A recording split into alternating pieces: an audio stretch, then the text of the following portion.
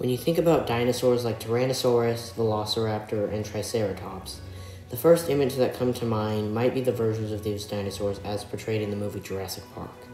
The truth is, these dinosaurs actually looked much different in real life than they did in the movie's portrayal. Tyrannosaurus was much bulkier and covered in fine hairs. Triceratops looked pretty similar, except its horns were much shorter and straighter. Velociraptor was only two feet tall and it was covered in feathers. That's right, feathers. Truth is, most carnivorous dinosaurs and even a few herbivores were covered in feathers.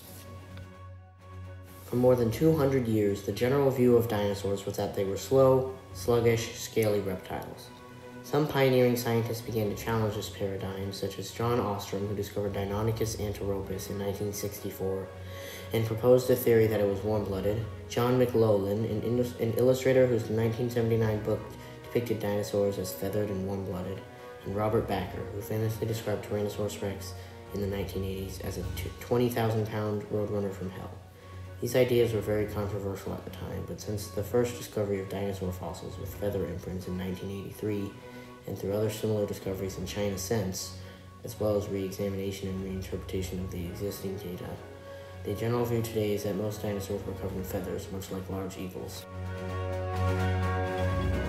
When the first dinosaur fossil was discovered in the mid 1700s, many people thought that they were dragon bones. This was determined not to actually be true, and a new group of animals was created called dinosaurs, which means terrible lizard. Even after dinosaurs was classified as a new kind of animal, they are portrayed as slow, sluggish, and lizard-like with scales.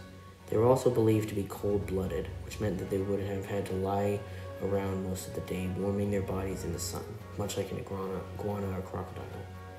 Even when the fossils were discovered that had bird-like features, such as feather insertion points, these were overlooked or ignored because of the existing sluggish lizard paradigm. This paradigm influenced how dinosaur fossils were assembled together into complete skeletons for display, upright with tails and bellies dragging on the ground. In 1983, the first fossils with clear and direct evidence of feathers were discovered in the Liaoning province of China. Since then, hundreds of discoveries, mostly in China, have reinforced this idea. A Chinese farmer discovered a fossil in 2000, which scientists studied and determined it was covered in down. These remains were identified as belonging to a dromaeosaur, which is related to another well-known dinosaur, the velociraptor. The scientists believe that the down was evidence it was covered in feathers and that they had physical proof of the link between dinosaurs and birds. Not everyone was convinced though. Ornithologist Storrs Olson was certain that there were no feathers on the beast. In 2003, Chinese scientists described fossils of a new species they named Microraptor gui. It had four wings and asymmetrical feathers like those of a modern bird. The team suggested that these feathers would have allowed it to glide through the air. It hasn't only been new fossil discoveries that have furthered this theory of feathered dinosaurs. In 2007, Alan Turner and his team re-examined velociraptor fossils that had been discovered in 1998. They found features not found on other velociraptor specimens, a series of bumps which resemble quill knobs on modern birds. Quill knobs are where ligaments connect the major flight feathers of the wing to the bone. Even a well-known dinosaur like Velociraptor can still have some surprises.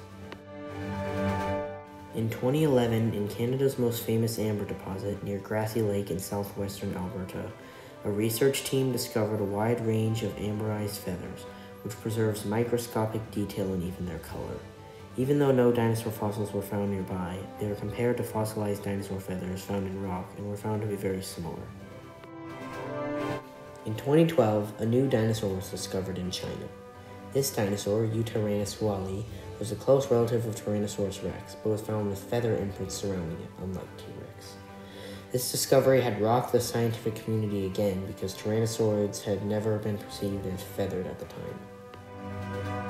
A study in 2017 took a close look at the feathers of Anchiornis, which is a four-winged bird-like species. Scientists were able to develop a fairly good idea of the coloring of Anchiornis' feathers because the melanin pigment in feathers fossilizes very well. Current scientists continue to advance this theory of feathered dinosaurs through additional discoveries and re-examination and reinterpretation of existing fossils.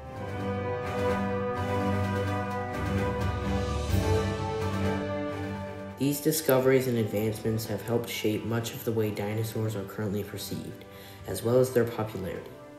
We have learned more about dinosaurs in the last 25 years than we did in the 200 years prior. This change has even penetrated into pop culture.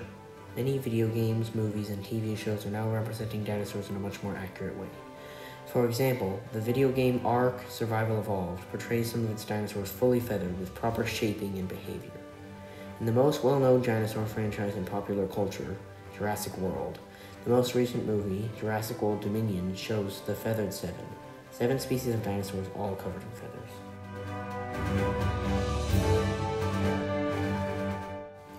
I'm sure you have heard this of the popular saying, we can't understand our present until we understand our past. This is in some ways true for dinosaurs as well. When we look at dinosaurs, we can find the evolutionary linkage between them and birds. This helps us understand the origin of modern birds, as well as how they relate to one another. Although there have been opposing viewpoints and detractors to the idea of feathered dinosaurs, there is growing evidence to support this rethinking of what dinosaurs looked like and how they behaved. I hope you are as excited as I am to watch these theories continue to develop based on new discoveries and reinterpretation of old ones.